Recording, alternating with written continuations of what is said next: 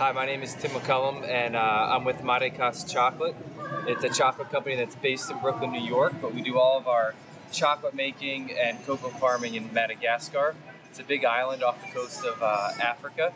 So we've got about uh, six different varieties of chocolate here, ranging from a milk chocolate all the way at the very end to what's going to be our darkest chocolate. That's an 80% cocoa.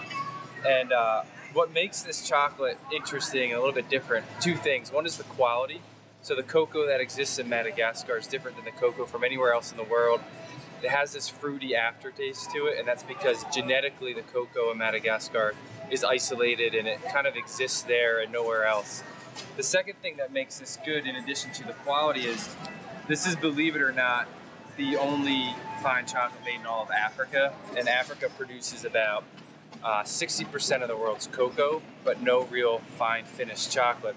And we make it in Africa to, uh, to help local people as an extension of fair trade. Myself and uh, the other business partners were Peace Corps volunteers in Madagascar.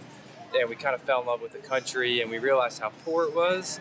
Then we realized how good the cocoa was and that no one was making chocolate. And we thought we could do something about this. So we started the company as a, as a way to help uh, transfer skills and to get people to start making chocolate instead of just shipping cocoa beans.